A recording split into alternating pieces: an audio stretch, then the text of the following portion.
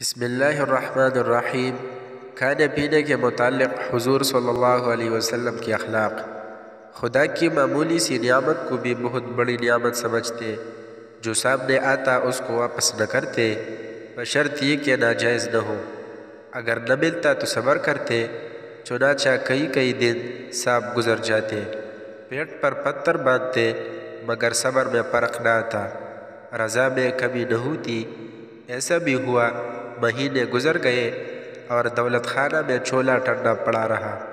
جب کھانے کے لیے بیٹھتے، اول ہاتھ دھو لیتے اور بسم اللہ پڑھتے۔ ہاتھ پر یا کسی چیز پر تکیہ لگا کر یا میز پر کھانا نہ کھاتے۔ نہ پرتکلب چھوٹے چھوٹے برتنوں میں۔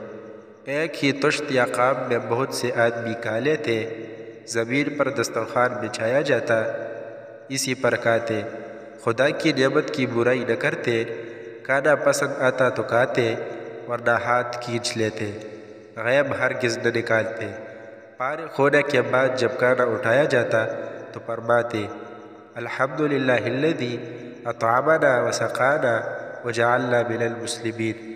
اس خدا کا شکر ہے جس نے ہمیں کھانا کھلایا، سیراب کیا اور ہمیں مسلمان بنایا۔ آپ کا کھانا تکلفات سے بالکل سادہ ہوتا۔